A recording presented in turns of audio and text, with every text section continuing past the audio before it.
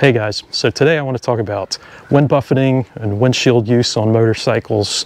I've tried a few different things and never really successfully been able to get rid of the wind buffeting. If you haven't experienced wind buffeting, what it is is when you have a windshield on your bike, the wind comes in at a certain angle and it causes a lot of turbulence right around your head. So the wind's coming up, hitting your helmet, and it's giving you sort of a bobblehead feeling. You feel your head just kind of shaking people that don't wear helmets or often do not experience buffeting and it's because it does have a lot to do with the helmet that you're wearing. If you get wind buffeting really bad, it could be an indication that your helmet is not fitting very well, it may be too loose. And if you wear prescription eyeglasses, it makes it even worse. And I, I wear contacts sometimes, it definitely helps reduce the wind buffeting. So on my Vulcan S, I tried the factory windshield and even tried a aftermarket windshield that was adjustable.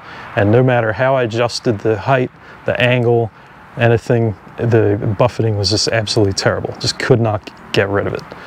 So on the Heritage Softail, you have the same thing, and it's I think it's even worse. So really one of the things that I haven't tried that I kind of want to try is fork deflectors. With a windshield that's the correct height and the correct size and everything, typically the wind is going to only hit you right on the top of the helmet. But the actual wind buffeting in itself is supposedly caused by air coming up under the windshield.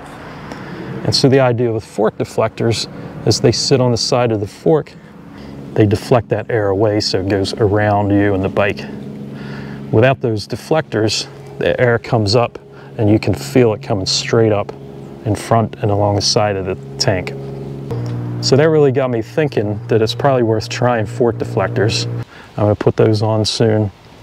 I did a before video where I have a chin mounted GoPro on my helmet. I turned the image stabilization off, uh, got up to 60, 65 miles an hour with the windshield on, and you can kind of see in the video, you, you can see this shake.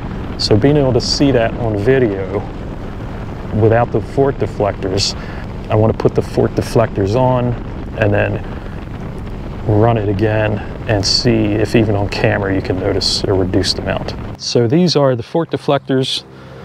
These are straight from Harley Davidson. These are specific to the Softail certain years. Um, they're not, these fork deflectors are not available for every type of bike or every model. If I flip this over, here on the other side you can see basically the fork deflector is going to mount right behind the turn signals on the side of the fork there. I haven't been really keen on trying these things before because I just don't like the look of them. Um, they look kind of ungainly and awkward to me. We'll see how difficult they are to put on and take off. And it may be the sort of thing where I put them on, you know, as the weather gets cooler and I put my windshield on and then as the weather warms up, I could take them off and not need the windshield anymore. So we'll see how that goes. But first of all, I got to get these things installed and see if they even work. So I'd like to invite you to subscribe to this channel if you find this kind of thing useful.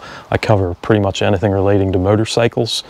And when you subscribe, it greatly supports my channel and I'd certainly appreciate it. So I got the fork deflectors on. It's actually the next morning. Um, had to take a break. And so they're very easy to get on. I don't think they'll take more than 10 minutes to take off and put back on. But they do a really, really fantastic job uh, exactly what they say they're going to do.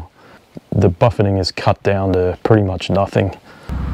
So this is obviously with the fork deflectors on, you can see them here, right behind the turn signals. Uh, nice pretty chrome, one more thing to try to keep clean I guess. Uh, they'll probably catch a lot of bugs too, I'm sure.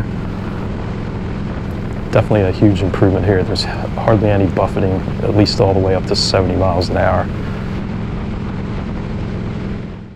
The only thing that I'm not real happy with is they honestly are a bit fugly. So take a look here.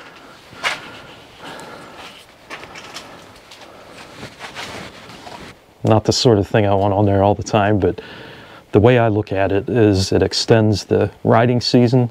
It allows me to ride in a lot cooler weather than I ordinarily would.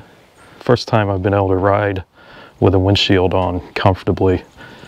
So if you get wind buffeting, Make sure you have a helmet that fits really well. Make sure it's tight enough. if you wear prescription glasses, expect that it's going to be kind of amplified a bit. So yeah, if your model bike has fork deflectors available, I highly recommend them. Definitely does the trick. So let us know in the comments if you experience wind buffeting, if you've tried anything to solve it, and if you try fork deflectors, let us know. Thanks for watching. We'll see you next time.